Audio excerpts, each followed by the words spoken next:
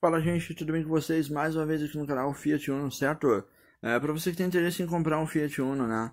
Uh, mas não sabe qual modelo é melhor, uh, queria algumas dicas, né? Quatro portas, duas portas, uh, modelo mais antigo, modelo mais novo uh, e tudo mais, tá? Versões e tudo mais. Eu venho aqui fazer um vídeo super legal para você que tem interesse em comprar um carro, tá? algumas dicas também de reformas básicas para você fazer ali no seu carro, tá ok? Bom, primeiro, para você que tem interesse em comprar um carro, né, mas não sabe o preço, a faixa de preço de um Fiat Uno, tá? Uh, tem lugares que você acha até por 3 mil reais. Mas uh, um preço mais fácil de você achar um Fiat Uno, né, em bom estado, com documentação bonitinho, certo? É, começando a partir de 5 mil reais, tá certo? Você acha um Fiat Uno, duas portas, né? Uh, modelo mais antigo, semelhante a esse que você está vendo no vídeo agora, certo? Uh, um Fiat Uno da linha 90 por aí, tá? 80, 90, certo? Você tá achando aí na faixa de 5 mil a 6 mil reais, em bom estado com documentação, certo? Algumas coisinhas para fazer na pintura, talvez uma pintura precisando dar uma, uma reforma, mas nada que não dê para fazer uh, na garagem de casa mesmo, usando tinta, certo? Uh, beleza. Porque uh, geralmente você acha um na faixa de preço de 5 mil reais e vale a pena comprar ele por esse preço? Sim, vale a pena. Por quê? Se, se você acha na faixa de preço de 5 mil reais, é, você tem um carro muito bom uh, e muito confiável, tá?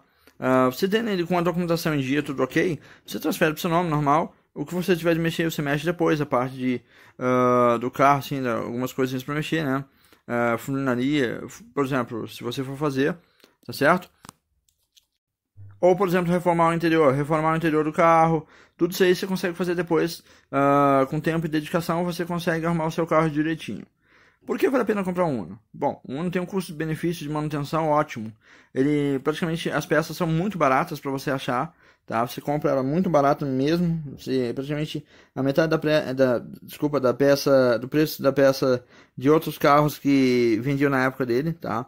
Uh, alguns lugares você acha aí pela metade do preço, quase a peça. E é esse o preço normal mesmo, tá? Uh, e o que? A vantagem é que você, a maioria dessas peças, você consegue você mesmo trocar no, normalmente numa boa, tá? Ou se você mesmo levar no mecânico, não é tão, não é tão caro para você fazer, tá ok? Mas, é, considerando que você vai fazer, por exemplo, tipo, trocar o fio de ar, essas coisas assim, é fácil de fazer, você consegue fazer numa boa. Então é uma coisa mais simples, tá ok? Uh, bom, por exemplo, comprei um Fiat Uno, né? Uh, 1990 e poucos, tá certo? 5 mil e. Vai, 5 mil e poucos reais, tá certo? Uh, mas ele tem que mexer em algumas partes. Vale a pena, tipo, por exemplo, ah, o motor tem que regular algumas coisas, tem que fazer algumas coisas. Vale a pena? Vale a pena, porque uh, já, dependendo, o motor Fiat é muito bom mesmo, muito, muito legal. Quem tem um não sabe o que eu tô falando, entende que o carro é um carro muito bom, é um carro muito confiável mesmo. Então sabe que a mecânica é muito boa, tá ok? Não é porque é um carro 1.0 que ele é um carro que não vai, uh, é, como chama, andar bem na cidade. É um carro muito bom para você dirigir, tá? Um carro muito econômico, tá? Quanto à questão de combustível, é um carro que gasta pouco mesmo. É muito vantajoso. Qual a melhor versão do Uno que eu recomendaria para alguém comprar? Bom, na verdade você tem que escolher o que você gosta, tá? Uh, um sistema sem ser carburador é muito melhor, uh, porque o sistema mais moderno, né, ele te uh, ajuda porque o que? Você tem menos manutenção. Quando não tem carburador, você tem um carro um pouco mais novo, né? Uh, 96 por aí, 96 em diante, você tem um carro muito mais econômico na questão de, de você manter ele, tá? Porque você não tem que regular o carburador, não tem nada disso, já que ele tem um sistema de no motor bem mais tecnológico, certo? Uh, beleza. A questão do modelo, eu recomendaria modelos mais 96 por aí em diante, tá certo? Uh, a questão, se você for pensar uh, de qual vale a pena, qualquer um deles vale, até com carburador. Por que o carburador? Sim, se você cuidar, cuidar do carro normal, ele vai ser um ótimo carro, tá certo? Agora a questão de você comprar o carro, né? e, ah, vou fazer, eu quero a, a roda do Fiat Uno tá com um pouquinho. Uh, tem que pintar é, a roda do carro, nada, normal, tudo, tudo, de boa assim. Dá pra fazer em casa? Dá. Você vai pegar uma esponja com aquelas de cozinha que tem um lado verde, tá? Você vai uh, limpar a roda do carro, lavar normalmente, tá certo? Aí você vai pegar, passar o lado verde na, ali, né, limpando normalmente, tá? Seca, depois deixa secar no sol, tá ok? Uh, você vai comprar tinta de... É aquela que é alta temperatura, tá certo? Uh, vende em qualquer lugar, você consegue comprar, é, tipo primer, tem primer, tem tudo.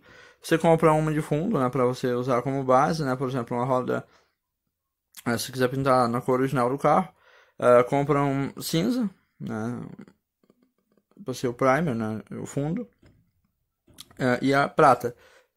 Eu recomendo duas latas de tinta prata, né, uh, se for comprar, vai, compra uma, duas, compra seis latas de tinta prata, para ter certeza que vai dar para pintar as rodas do carro e ainda vai sobrar. seis latas de tinta prata e duas latas de tinta cinza, tá? Você vai aplicar tinta cinza de fundo, deixa secar, espera secar, aplica assim, pouquinho, você vai pintar normalmente.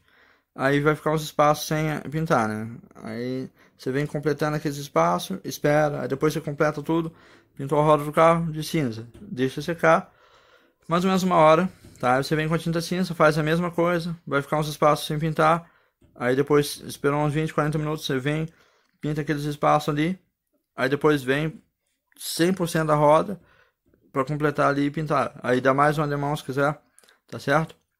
Ah, mas eu quero dar polimento na roda do meu carro. O que, que eu posso fazer? Você vai pegar o que? Tem gente que usa lixa 3000. Você pode fazer isso também.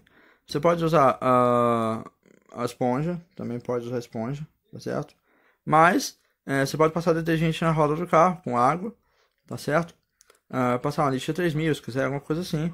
Ou simplesmente passar o lado verde da esponja normalmente ali. Vai passando, passando, depois você passa um pano para dar um polimento. Eu recomendo, se você quiser fazer, pode fazer, mas só você pintar a roda já vai mudar. Se quiser, compra duas latas de verniz. Aí você passa na roda. Vai ficar um espetáculo, vai ficar parecendo nova comprou hoje, certo? Mas eu recomendo você só fazer o que eu falei mesmo. Você vai só pintar a roda do carro normal, tinta térmica, primer térmico, tudo normal. para você ter a segurança aí de que o carro vai ficar legal, tá certo? Então é isso. É, é, dica de reforma da roda, né? Que eu queria fazer um vídeo assim. Uh, eu já procurei como fazer, não tem. É, eu queria me informar muito tempo atrás, aí acabou que eu já reformei a roda do carro, então eu preferi fazer um vídeo ensinando como fazer, porque no meu caso ficou perfeita a roda do carro. Então, é isso. É, foi uma dica simples, tá? A questão do modelo do carro, já falei. O modelo que você quiser comprar, você compra, é só você escolher direitinho. Se possível, leva o mecânico. Se possível, leva o mecânico. Aí vai ali numa boa, certo? Compre o modelo que te uh, que você gosta mais, certo? E feito isso, né, depois que você comprar, uh, a questão de manutenção é muito barata, as peças são muito baratas mesmo. É um carro muito bom para você manter, tá certo? É isso, gente. Mais uma vez, muito, muito obrigado a quem assistiu esse vídeo até o final. Obrigado a quem é inscrito. Quem não é inscrito, se inscreve. Quem é inscrito, curte, compartilha. Vale para todo mundo. Até o próximo vídeo. Falou, tchau. Ah, link uh, na descrição aqui vai ter algumas dicas, tá? Se você não é inscrito, já se inscreve no comentário aí você fala aí uma dica de vídeo que você quer, alguma dica, uma dúvida que você tem em relação ao carro, tá? Uma coisa que você quer saber. Só comentar aqui embaixo que eu respondo. Falou? Até o próximo vídeo. Falou, tchau.